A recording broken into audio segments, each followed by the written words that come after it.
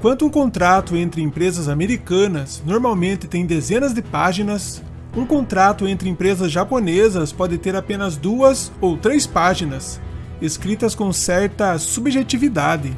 Esses acordos nebulosos são projetados para permitir espaço para uma contínua negociação durante toda a vigência do contrato. Frequentemente, uma cláusula de boa-fé é incluída, indicando o acordo das partes em sentar e discutir os problemas à medida que surgem. Como o contrato entre Sony e Nintendo para a produção do CD para o Super Famicom era vago em muitos pontos, pelo menos de acordo com Howard Lincoln, na época representante jurídico da NOAA, a Nintendo fez o que pôde para se livrar do mau negócio. Hiroshi Manishi, da Nintendo, um dos negociadores, disse: Eu não tomei essa decisão. O Sr. Yamauchi tomou essa decisão. Não posso dizer todos os motivos por trás disso. Não faremos nada para apoiar a Sony, embora vamos honrar o contrato que temos com eles. No entanto, decidimos que entraríamos nesse relacionamento com a Philips e provará ter sido a decisão correta. Nas semanas seguintes ao embate, a Nintendo e a Sony se comunicaram por meio da imprensa. Embora o Lafson tenha criticado a Nintendo no The Wall Street Journal, ele também disse: a porta ainda está aberta. De certa forma, parecia que a Nintendo usou a Philips para revisar seu acordo com a gigante Sony. O negócio entre as duas ainda não havia acabado. A EGM de agosto de 1991, página 38, afirmou: Novas unidades de CD-ROM anunciadas pela NEC, Sony e Philips. O PlayStation da Sony é um sistema Super Famicom com CD-ROM, formato que está sendo desenvolvido pela Sony para a Nintendo. Essa seria a resposta da Nintendo às unidades de CD-ROM da Sega e da NEC. A Sony afirmou que ainda fará o projeto mesmo sem o suporte de software da parte da Nintendo ou de seus licenciados. Em vez disso, a Nintendo assinou um contrato com a Philips para uma unidade de CD interativo que deve parear com seu Super NES. O hardware está pronto e o trabalho no software já começou. Super Mario, Zelda e Donkey Kong são alguns dos personagens já licenciados para desenvolvimento de software CDI. A unidade deve estar disponível no quarto trimestre de 1992.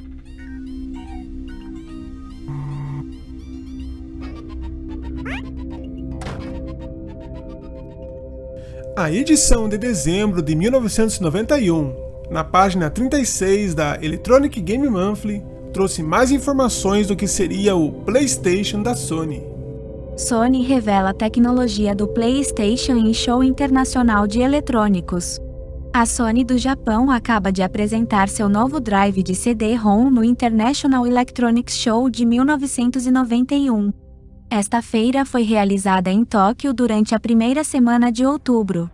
Organizado de forma semelhante à nossa Consumer Electronics Show, este é o momento em que todos os fabricantes de produtos eletrônicos no Japão têm a chance de demonstrar os mais recentes avanços em tecnologia. Uma área que recebeu atenção considerável da maioria das principais empresas de hardware é o desenvolvimento de novos dispositivos de armazenamento em CD. A Sony, em particular, revelou uma versão inicial da tecnologia que será incorporada em seu drive de CD-ROM. Oficialmente chamado de PlayStation, este sistema de CD será finalmente combinado com o Super Famicom da Nintendo para uso doméstico. Até então, o formato de videogame estava limitado a jogos simples devido à memória do cartucho. Mas com a enorme capacidade de memória dos discos, grandes quantidades de texto podem ser armazenadas em um CD, por exemplo, a Sony declara que todos os 26 volumes da Compton's Family Encyclopedia couberam em um CD. Também haverá jogos, porém títulos específicos não foram anunciados no show. A Sony agora está contratando empresas para preparar um novo software para seu próximo sistema. Quanto às especificações do CD-ROM do PlayStation, as informações estão chegando lentamente de nossas fontes no Japão. Pelo que podemos dizer, o CD do PlayStation não terá os recursos avançados de rotação e dimensionamento de dois eixos encontrados no Mega CD da Sega, mas será configurado para ser um dispositivo de armazenamento em massa confiável. É rápido, com uma marca de um terço de segundo. Quanto ao tamanho do buffer de memória, a Sony está atualmente listando o deles em apenas 64 kbps. Acreditamos, no entanto, que antes de colocarem seu sistema em produção, esse número será aumentado para a faixa de 2 a 4 megabits. No lado negativo, a Sony tem que resolver o problema de não ter o suporte de software da Nintendo e muitos de seus licenciados, mas eles terão a vantagem de obter seus CDS compatíveis com Super NES CD-ROM nas lojas, de seis meses a um ano antes do lançamento da unidade Nintendo Philips. Será uma batalha interessante para ver quem será o rei da colina do CD do Super NES.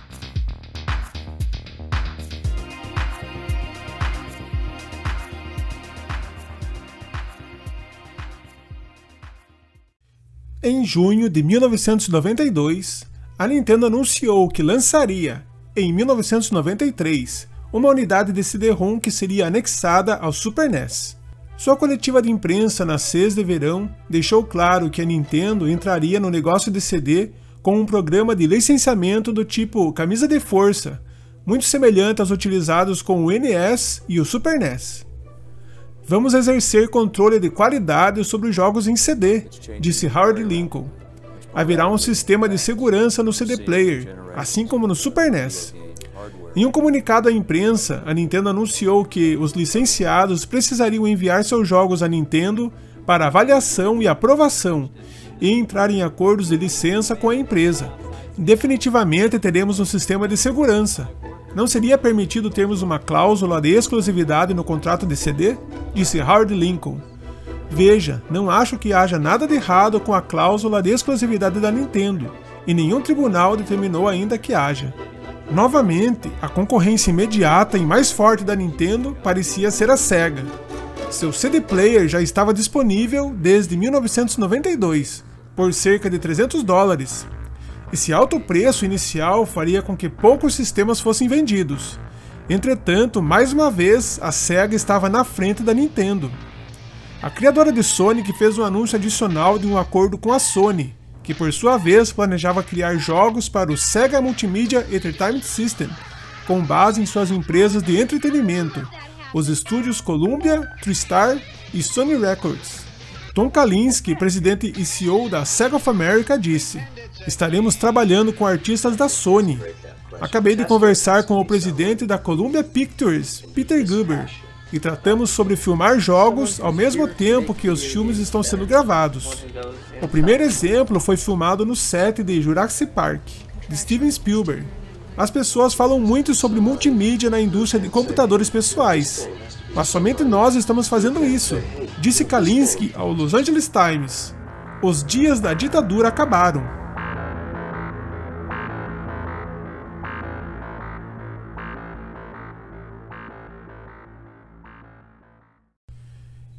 Embora a SEGA e a Sony se beneficiassem com o acordo, esse anúncio também serviu como um tapa na Nintendo pela Sony.